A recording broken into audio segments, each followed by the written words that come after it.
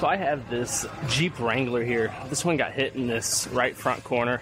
They actually bent the axle. It gets an axle and a bunch of, of uh, suspension work. But we're still waiting on parts for that. I'm gonna go ahead and repair this fender. You can see how this is all twisted up all in this area. Gets a new light. So I'm gonna go ahead and start working this this fender repair out, get this metal straightened out, and get this light fitting correctly.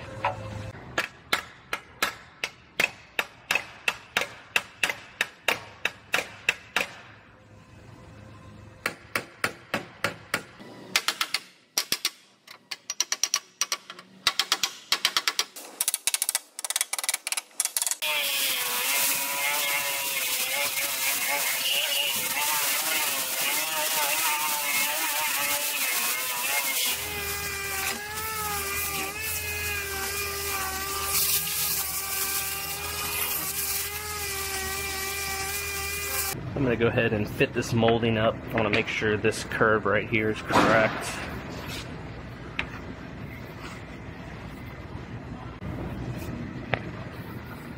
Looks like it's lining up really nice.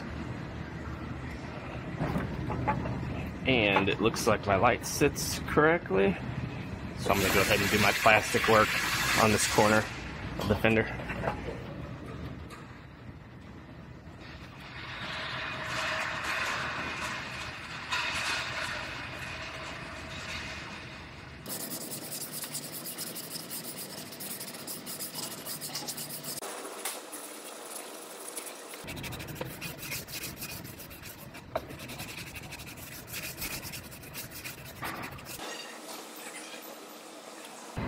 I'm gonna put one more thin coat over this.